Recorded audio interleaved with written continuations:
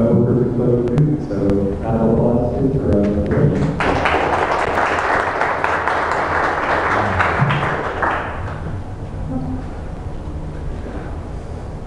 Okay, I'd, I'd like to know how many people are familiar with Boot? Boot? Do you know Boot? Uh, so who doesn't know Boot then? Great, I got an audience. two, two, three people. Uh, I'm assuming you don't know Boot, Boot in this. Um, this talk is mostly about how to get uh, how to get Boot to help you write a, a write web worker. So even if you know Boot, uh, there'll be some material in here that'll be helpful. Um, and as for the talk, I'd like to have questions as I go along. Uh, I think the important material is at the beginning. If you understand that, you could probably work through the slides on your own. Uh, so I'd like to have the heavy questions at the beginning of the talk rather than saving them at the, at the end. I don't care if I finish the slides. I'd like to have you understand what I'm doing. Okay. So, gosh, I can't even read, the, read this without my glasses. This is terrible. Um, what are web workers? Well, to a Java programmer, they're threads, uh, but they're handicapped threads because there's no way to exchange data except by message passing. Uh, they're isolated. Um, web workers also have a limitation. In JavaScript, there's no Windows object. If you have a lot of code that accesses Windows objects, like the code that starts your JavaScript, uh, then you have a problem. Uh, there's, a, there's a worker object in place of the Windows object. But part of the problem is ClojureScript is relatively new. They haven't looked at all the use cases. So it's like I come along and I'm talking to the, the boot developers and, and they don't know for web workers. So I had a number of changes I had to make. I had to help get a lot of help on workarounds and I put it all in the slides. So another thing is there's a distinction between a dedicated web worker and a shared web worker. And it has to do with the, the, JavaScript file. With a shared web worker, you have one JavaScript file that is running your, your Windows software, your window thread, and also the web worker. Uh, with dedicated, you have multiple uh, JavaScript files and of course, the obvious thing when you're working with Clojure is, oh, that means since we put everything into the JavaScript file, which seems to me to be a little strange, but we put everything in probably for to be able to optimize all the variable names and everything. That means that we have to have multiple copies of JavaScript libraries in our, in our web application. One for the dedicated thread, one for the uh, Windows thread. So I would limit the number of uh, JavaScript files that you have for web workers to one so that you have a total of two copies of Clojure, script, which is bad enough. Okay, why use web workers? Uh, the obvious answer is, of course, oh, well, you know, modern computers, we have all these hardware threads, and if you're only using one thread like a browser normally does, you have limited access to the, the, computational capabilities of your laptop or server or whatever. Um, well, that's a poor reason actually because the overhead of, of passing messages to the web worker, getting the results back, and the overhead of synchronizing all of this process is adds a lot of latency. So unless you have some heavy computation like you're, you're doing all kinds of encryption and decryption in a web worker thread, this isn't going to be much of an advantage. But where there's more of an advantage is when you're doing a lot of file I.O. File I.O., it turns out, especially when you're running on a browser running on a Windows system. The file I.O., even if it's asynchronous, it ties up your thread, which is absurd. But that's the way it is. So if you, if you want to have a very responsive um, application, you have to put your, your file I.O. In a, in a web worker. So for any, anything that's using any local files in the browser, uh, that's what you got to do. And that's why I got into this. Okay, so, so basically web workers are a way of keeping your application responsive. Just to summarize that. Okay, ClojureScript issues. Um, we have this thing called optimized code, and, and we don't like using it when we're developing software because it manages all the variable names down to a single letter, which Makes for debugging hell, uh, or at least it makes it harder.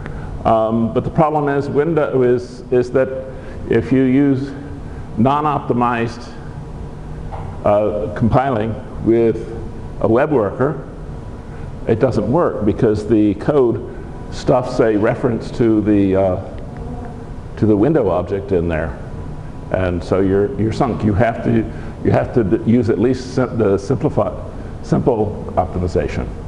Uh, there's a, another issue, and that is with the the auto reload. When you when you do use auto reload, so that after you've changed the file and it automatically gets compiled, then it automatically gets reloaded onto your browser, and that also inserts a reference to uh, the Windows op window object in your code. So you can't do that. Um, but there's some, some nice workarounds. Uh, now, boot, in case you're not too familiar with it, is a really open-ended framework to, for defining, composing, and running build tasks. It's really, keeps things really simple because there's no standard way of doing things. You write the code that pu pulls everything together to do exactly what you want. You don't have to work around a, any presumptions in the build process. It does what you say. It's just you write code to define your own builds. Um, the, there is a small configuration file called the boot properties file, uh, and it's absolutely minimalistic. It contains what version of the boot you want to run and what version of the uh, of Clojure that you want it run on. The boot internals are quite novel. Uh, we're talking about, well, you know, this is Clojure. We're talking about immutable data. We're talking about immutable files, uh, which is created by using links to temporary files and building up file sets so that each step in the build process can only modify the file set that it gets uh, and not change the underlying files which are kept immutable. Uh, this is very handy because um, as you work your way through a pipeline of build steps, you might change, you might complete this, change the source file, and, and you have a detector that says, oh, the source file got changed, let's recompile, rebuild, and reload the whole process. And so you can have a very dumb steps that just take the same input, same input and produce the same output, or very smart steps that look at the input they're getting this time, look at the input they got last time, and only compile the differences. Um, because the data is immutable, we all know about the advantages of immutable data, and it's brought immutable data to the build process by using this uh, file sets to of links to temporary files, which is a bit roundabout, but it works. Okay, there's also pods. I haven't got, had to get into pods. Uh, pods provide much better isolation between your different steps because each pod can have its own uh, its own class path. So, you know, that allows you to build complex systems where you have, have to have multiple versions of the same software uh, you, when compiling various components. Now, boot is so flexible that uh, some of the larger shops that are still running Ant, after all this time, they're finally able to convert their old Ant scripts to boot. And that's something nobody else is, no, no other system has been able to provide. So boot is really the cat's meow when it comes to build systems, unless you're happy with Ant. Okay. Uh, there's a demo, uh, W3C, W3C Schools demo out there, uh, which works with uh, a dedicated web worker and a, a, client. And what I've done is I've adopted the client to use Hoplon and Boot. And why Hoplon? Well, I'm in love with Hoplon because I'm not a JavaScript programmer. And tying JavaScript in, in, into HTML to me is black magic. And Hoplon provides me a simple language that gets converted into JavaScript that generates the HTML and the CSS and gets it all to work together. So to me, it's, it's really nice as a Java programmer trying to survive on the web. So we're going to look at the, uh, this demo that I put together using the W3C uh, web worker. We're just going to do a client for it. Uh, and here's the property file. Um, the first two lines I already talked about. You specify the current Clojure version that you want to work on, the boot version, I'm sorry, the, uh, the boot version, the Clojure version, and then there's this third line which is just there for, um, well, it's mostly there so you can run on Windows, uh, which is something that boot really hasn't, until very recently, been able to do. I've been very busy working with the boot developers, asking them to make some small changes here and there. Um, it's mostly now for backward compatibility. This, uh, if you don't specify it, it, it, gives you a warning saying you should specify it. Um, the requirement for specifying it will be dropped in version 3 of the boot. It's still there for backward compatibility. They, the boot community is really good about maintaining backward compatibility, um, but that means that there's a few odd things here and there, old design decisions, which in retrospect are inappropriate. So they're having, so you have to live with these workarounds until they get around to uh, making a version that is not backward compatible. Okay, so let's look at the, um, what happened? I clicked on something. Okay, let's, let's look at, um,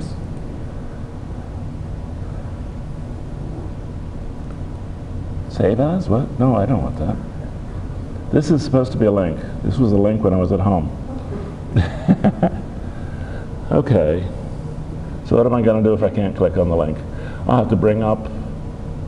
Uh, I'm sorry, guys. This changed. Can you copy it? Just select and copy it? Uh, that's a possibility. I can also just go to the go to the file using the ID.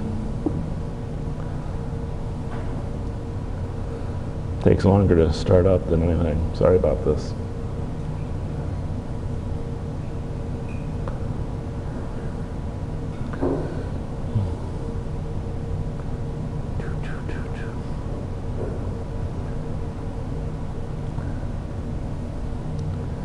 Okay, I'm, I'm using uh, IDEA, which may not be, it's actually uh, gotten pretty good these days.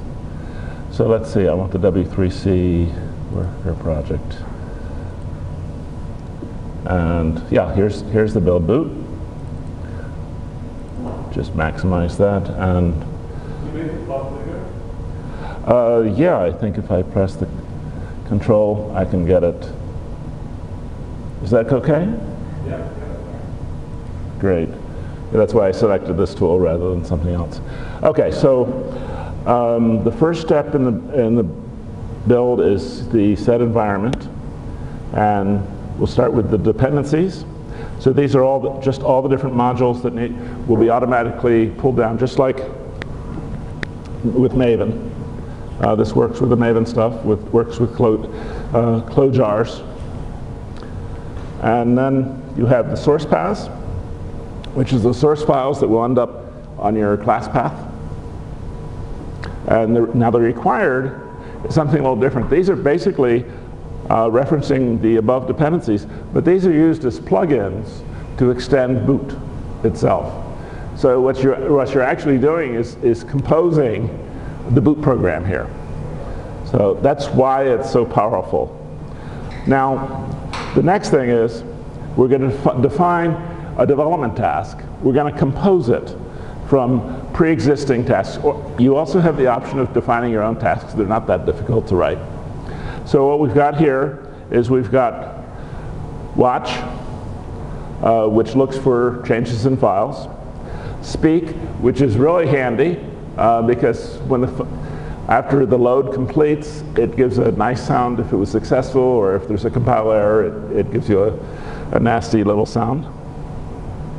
Uh, I use, I'm using Hoplon uh, as a preprocessor for Clojure, closure script. And uh, reload doesn't work in this case um, because we're compiling both the web worker JavaScript and the and the Windows JavaScript at the same time. And so um, we can't have reload because it'll inject that, that window reference into the both ClojureScript files. Uh, also, you cannot say optimization none because then your web worker won't work. Uh, and then we're using Boot Jetty, which is a very simple-minded uh, web server, uh, very small web server. It uses Jetty, but it has limited facility, so uh, it doesn't, for example, support static files. But it's very easy to configure, and I, being a Windows user, I have to configure it because because Windows doesn't allow you to change open files. And when Jetty uses, by default, uses uh, um, file mapped buffer, the files are open, then you recompile everything and, and you want to reload, but the old files are open, Jetty doesn't know to close them, and so it dies. So you have to turn this option off. So that's, that's the boot. So are there any questions on that? Yeah. I have a really question about the web workers. So, About what? about the web workers. Okay, great. So, can you can you again differentiate worker and what was the other one? Shared. Okay, it has to do with the, the JavaScript file. So everything's going to share the same JavaScript file. You use a shared web worker. If a web worker has a dedicated JavaScript file that is different from the one used for your Windows application, your main application, then it's dedica dedicated. Why would you why would you ever want a dedicated one? Because some things don't work with, with uh, Oh, Shared. Hmm? There's no window object in a, when a web worker is running. So if you have, if you're doing reload or if you're optimized none so that you see your variables, um, the web worker's not, not going to work. So I use dedicated. Anything else? Yes. Um, Just about the window object being there, uh, so that's there when optimization's done, is that like a reference in the Google closure management application? Um, yeah, that would be a closure, ClojureScript compiler. So it's, uh, yeah, you can see that the, the, op, the optimization is on CLJS, and that's your uh, closure, your JavaScript, ClojureScript compiler, compiling into JavaScript. Okay? So now what am I going to do? Leave this open, I guess.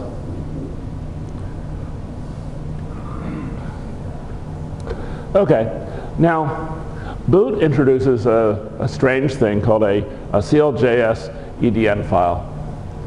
You need one of these for each JavaScript file that you want to generate in your boot process. And the name of the file, in this case worker, uh, is the name of the JavaScript file that you're generating. Um, and the position of the file within the hierarchy is uh, also going to be the position where your JavaScript is located. So that, that's how you determine the path of the uh, path to the JavaScript file for for either your window or your or your worker threads. Now I use Hoplon, and Hoplon's very nice in that it does you a favor of generating the uh, the EDN file for you uh, for your for your window Javas, JavaScript file. Okay, the W3C web worker.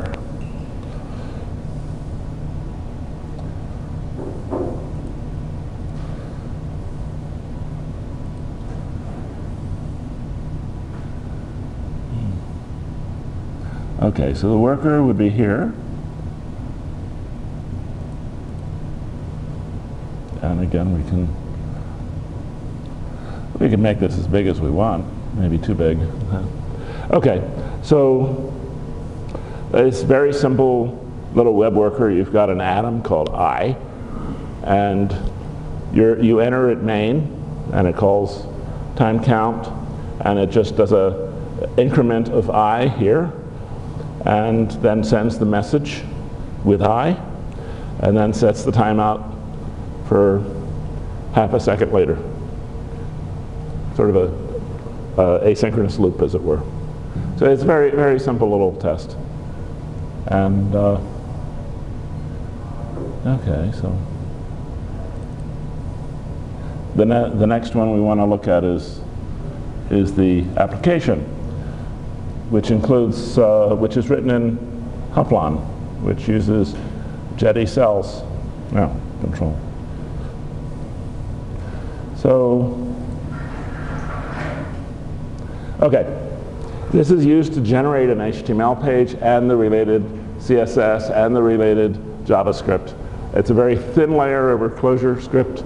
Um, and the second half of it, starting with HTML down here, uh, basically you can generate any HTML structure, uh, complete with all the JavaScript uh, integration.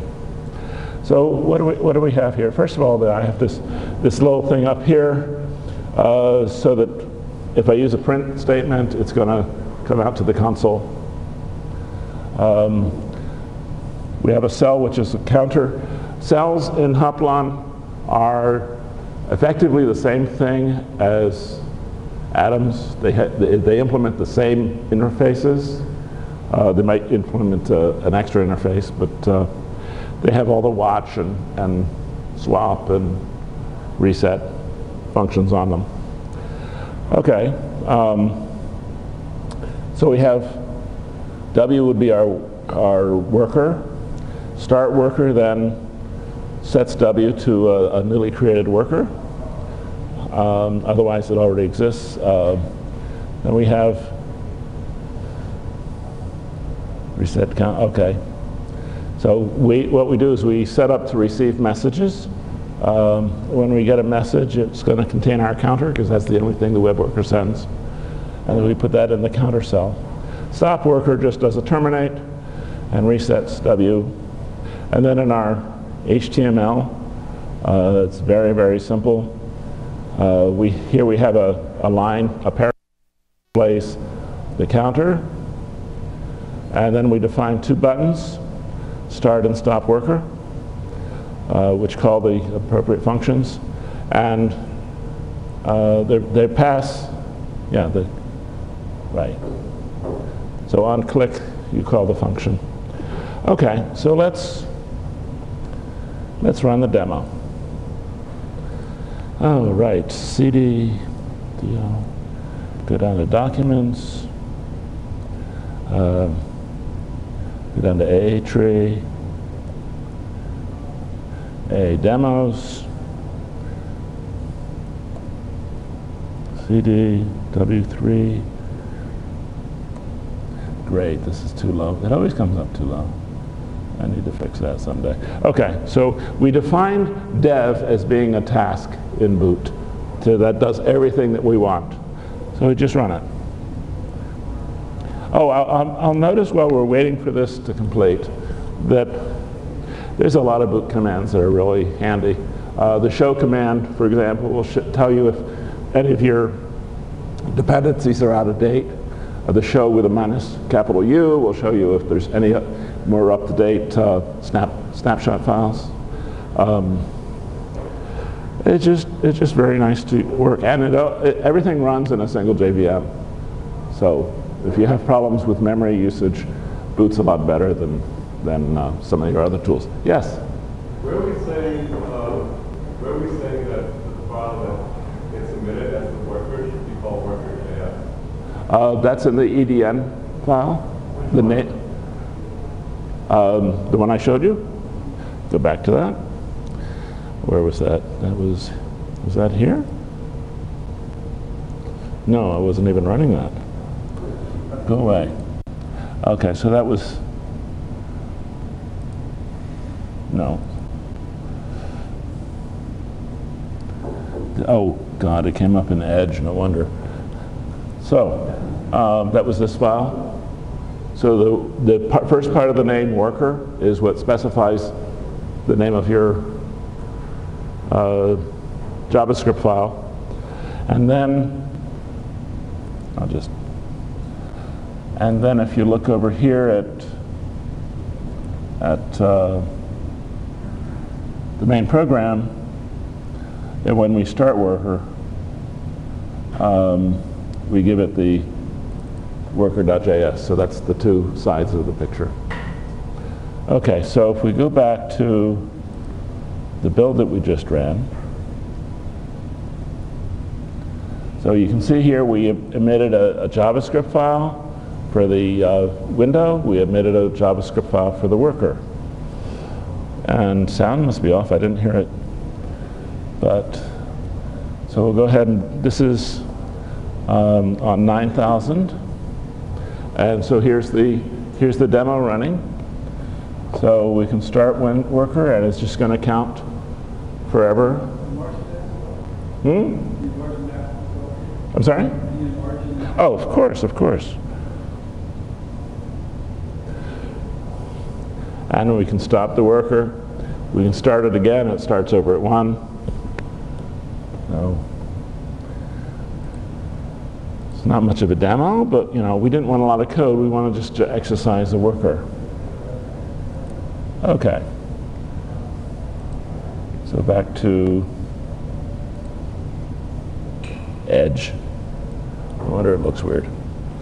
Okay, so that was that was that. Now the next next thing I've got yes. So dedicated or the other kind of web worker has to be in its own file context, that, Dedicated, yeah. does that necessarily mean that you have to make two trips to the server?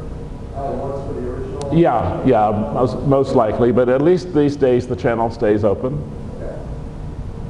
Yeah. Um, For the web, web workers, are you polling the workers, or do you have some callback that's set up that like you're? Oh, oh, um, I'm just I'm just using standard JavaScript messaging.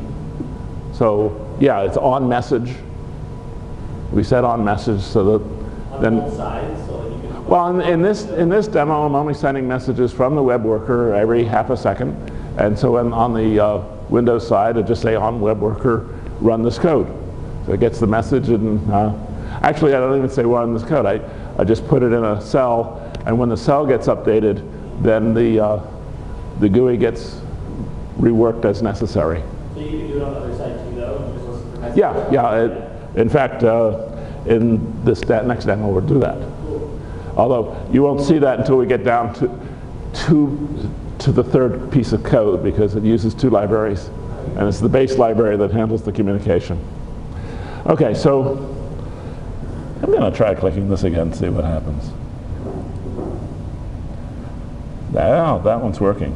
Cool. Okay, so the Duracell demo uh, uses IndexedDB for, for persistence, for durability, I should say. Um, so the, the JS file here, in this case, it comes from a library. It comes from the Durable Cell library, so that the uh, Duracell demo only has the client side, the, the Windows side. So we can optimize it the way we want. We can, and we can use uh, reload. So everything works in this demo.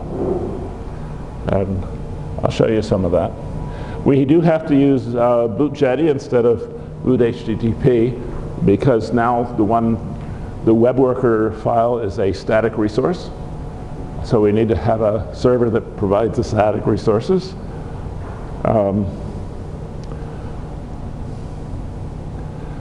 so the build boot, maybe I can just use these now. Nope. Right click is not working for me. Okay, so we'll go through, at least the, we don't have to restart this. Um, file, open recent. We're doing Duracell. I've been told that was a nice name, I guess, but I didn't want it for our library. Um, okay, so the build boot. Um,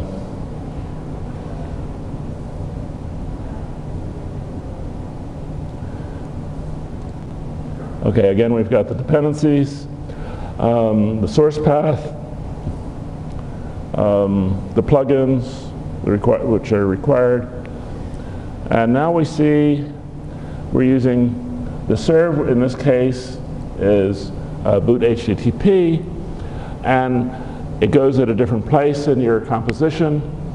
uh, at the beginning instead of at the end for some reason. And uh, the way you uh, configure it is different. Um, you do not pass it the parameters that you want to set. You pass it a function, which is kind of neat, but also a little awkward. So you have to have this function defined, and it has to be in a different namespace. So we'll take a look at that in a moment. Uh, then watch and speak, I'll hop on, and then reload. I've put in reload here because that, that now will work. And the optimization is none. So let's look at that.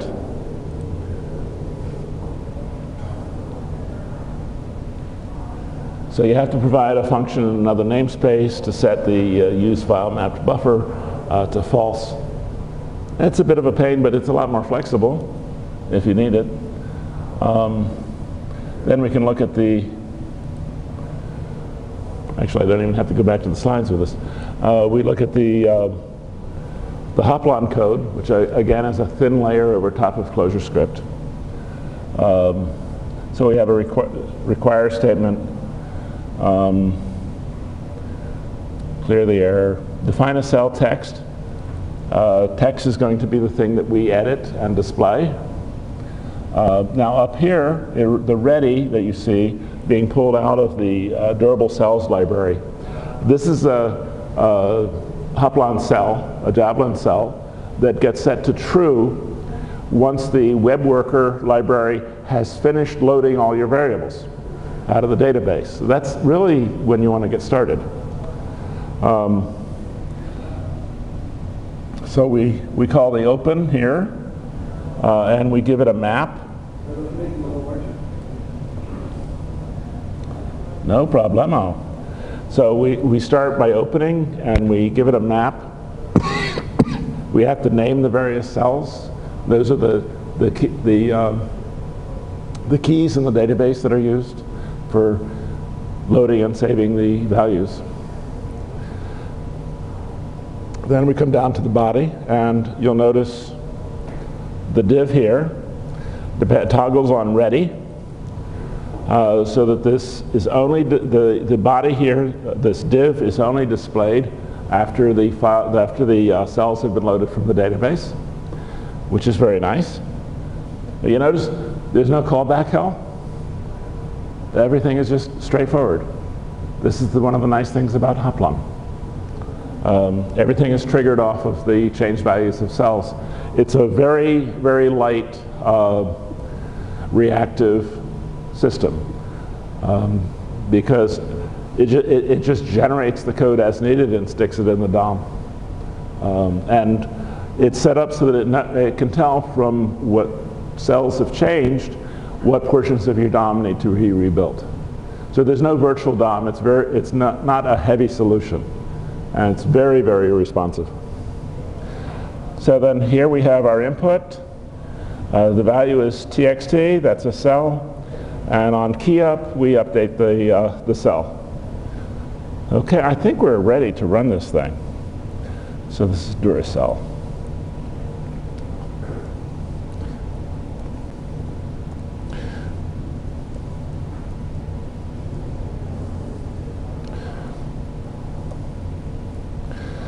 Okay. Maybe my sound will work this time. I don't know. The nice thing about sound is then you can be focused somewhere else and you pick up that auditory So It's, it's really very, very nice to work with. Oh, this thing is still running. Let's can this. Let's bring up the control panel as long as we're sitting here. And then go back and look at this. So again, it's on, it's only doing the one JavaScript file. Yeah, the sound is definitely not working. It was working, it works at home. Oh, oh God, I, I'm, I've got the wrong it's 8,000, not 9. Okay. So the thing is, it picked up the hello world from the database. We can change that.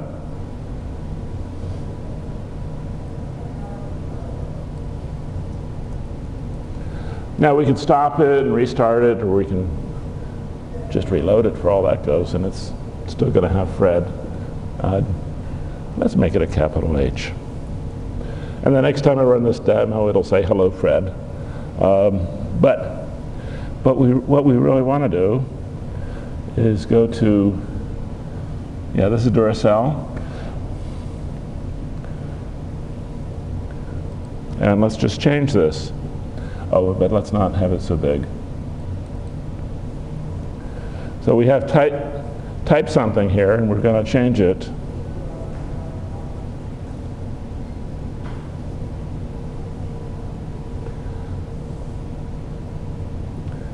There we go. So it's, I just lost my recording. So it just it's just like uh, Figwheel, flywheel, Figwheel.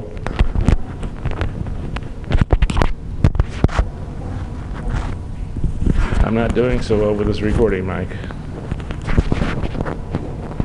I got it. Okay, so let's put it back.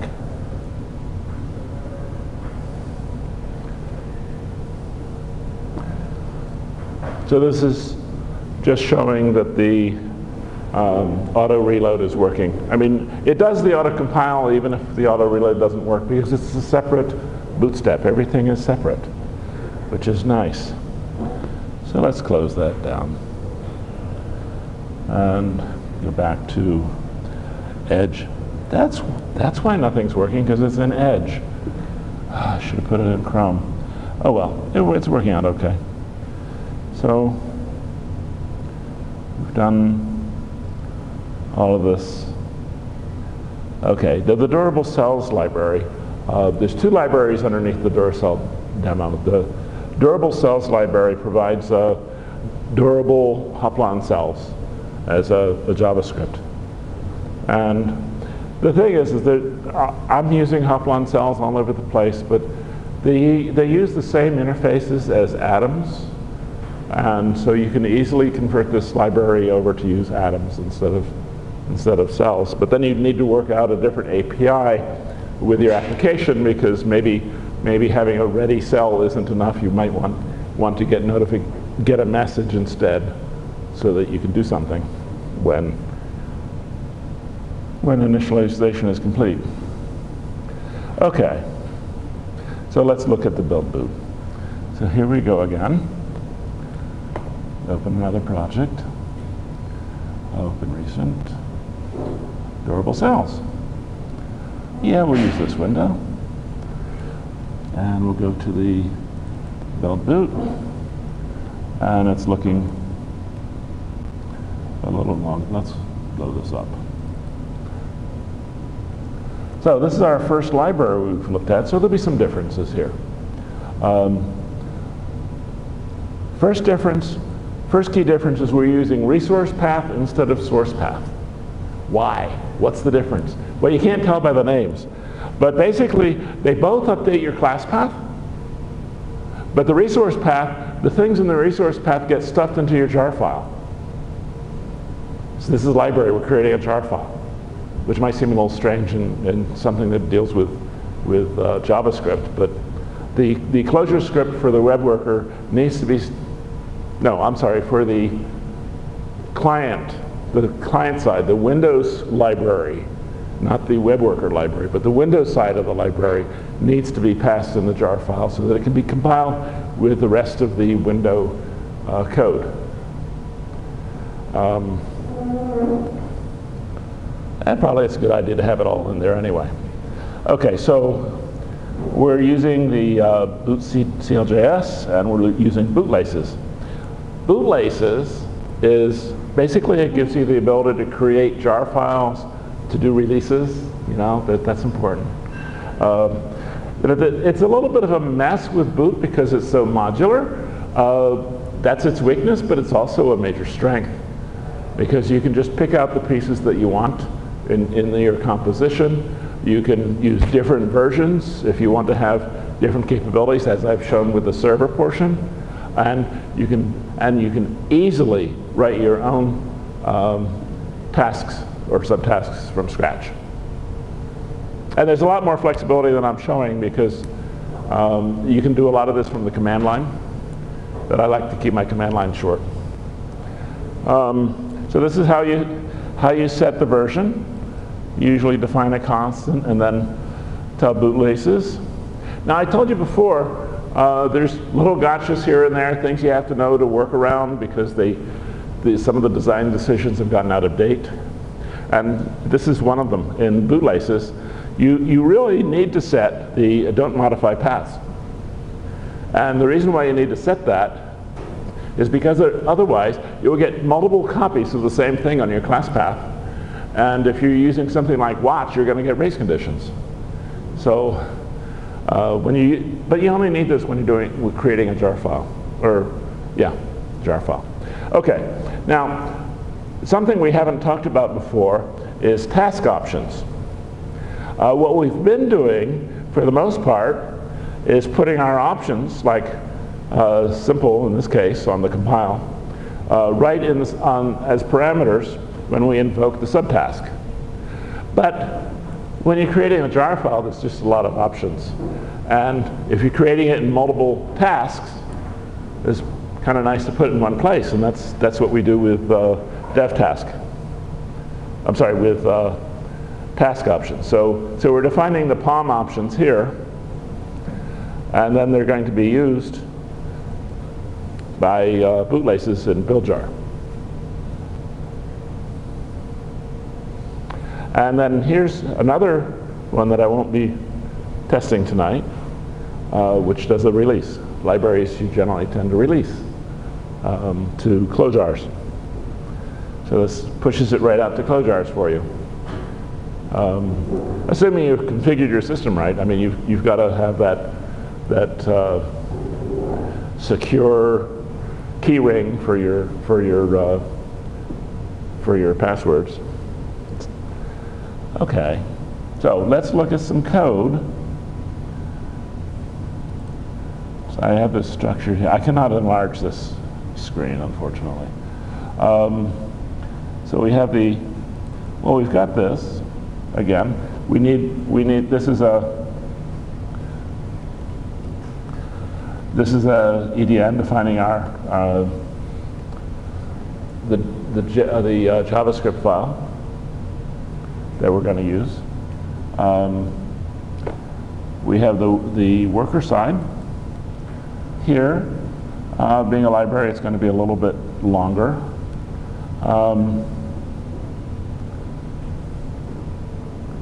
Did I? Oh, no, actually I'm doing this in the wrong order. I've gotten too far away from my slides.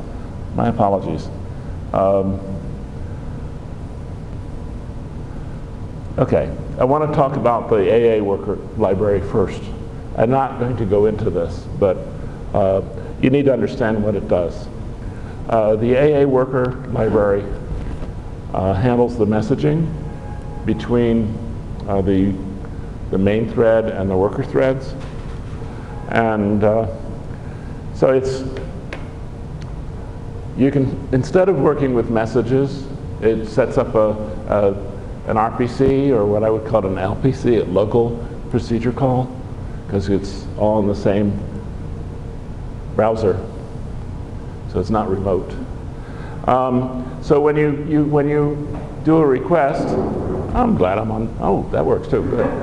That's nice. That's a, somebody, somebody does something right. So when you, when you send a, when you, when you do a, a call, a local call, um, you have to identify what function it is that you want to call on the other side, and then you get, and you pass the data and everything, and you get back either a success response or a fail response. So it's, it's a round trip request system.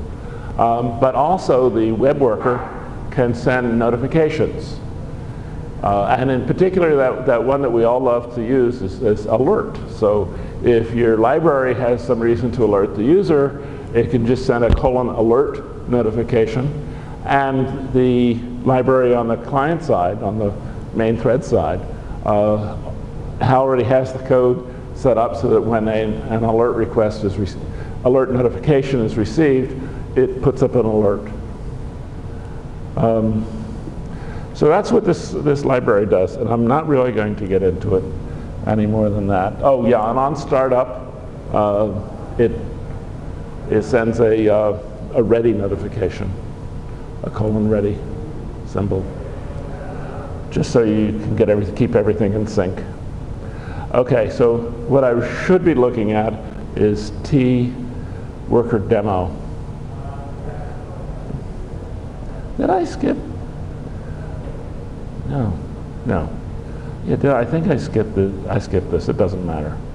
Fine, durable cells. Uh, We were starting to dig into it when I got confused, and I said, no, I think I shouldn't do this. But that's okay. Um, so the T worker demo, something we can run. Um, it's a very simple demonstration. Um, it just counts clicks.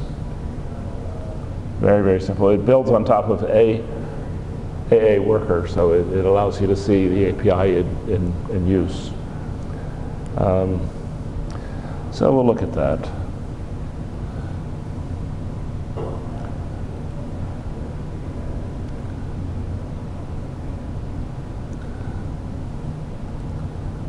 T worker, right? I hope. Okay.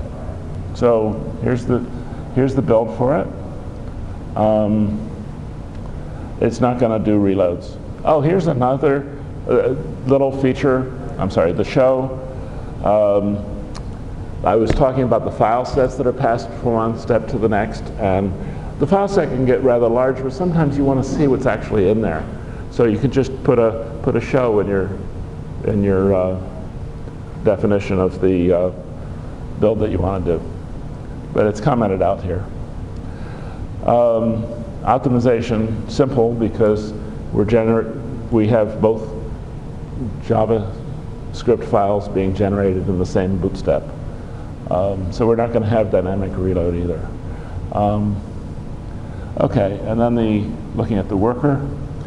Um, like I said, this is a very simple demo that just exercises the message passing and the alert and exercises the API. So I was talking about clicks. So we have an atom, which is our clicks. Um, we define a, a local RP, uh, a local procedure call is click, and it just does some. so- oh, I'm sorry.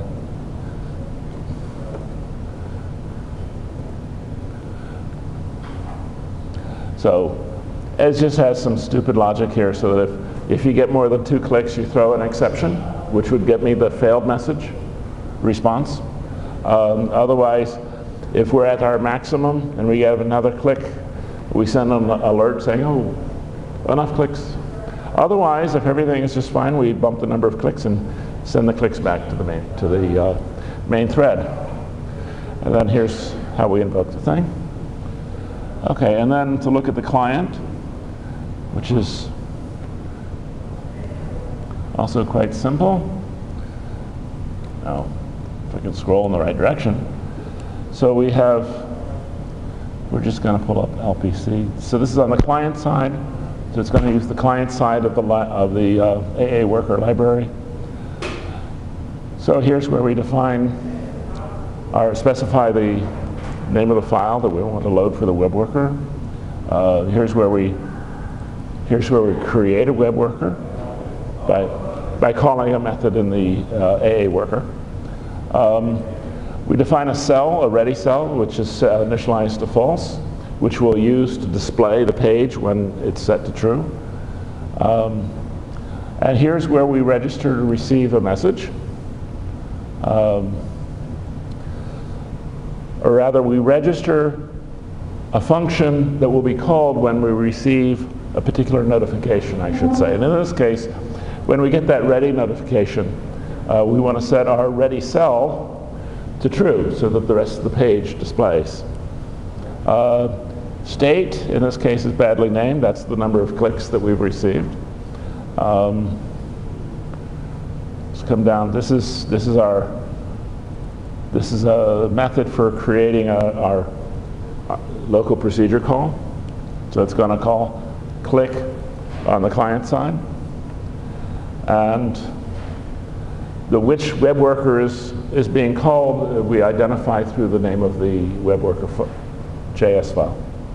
Uh, state, like I said, is the number of, cli- number of clicks. So when, when we call click it, it's going to click. I had to do that because we're getting some arguments passed. Um, okay, so then the H- generated HTML. Uh, again, the body, we have a toggle on ready. And uh, we just display the text, um, and which is, right, we display the state, which is the count of the number of clicks. And then we have a button for creating click requests sent to the web worker. So this is the T-Worker demo. So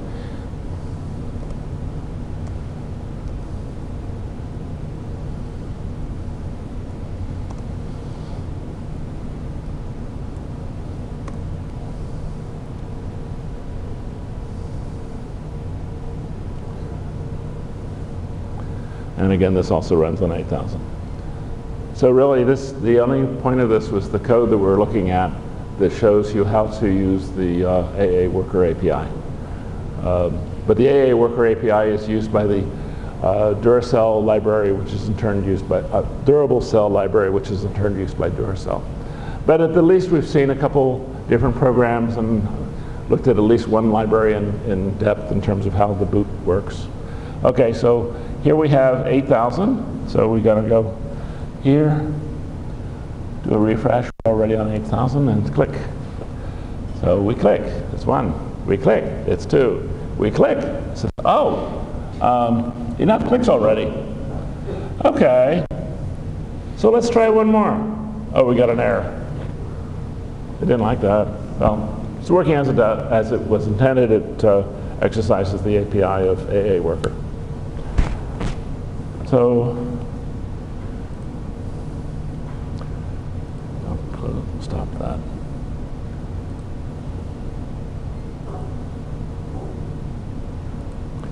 Unwinding here. So that's the end of the talk. Uh, any more questions? Well, thank you very much.